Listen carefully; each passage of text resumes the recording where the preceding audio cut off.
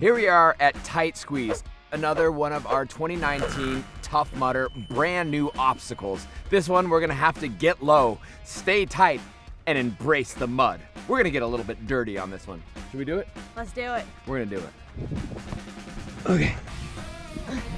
It's kind of tight in here. Hi.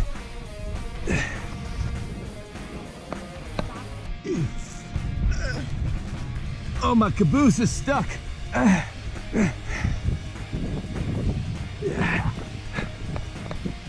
You filthy animals.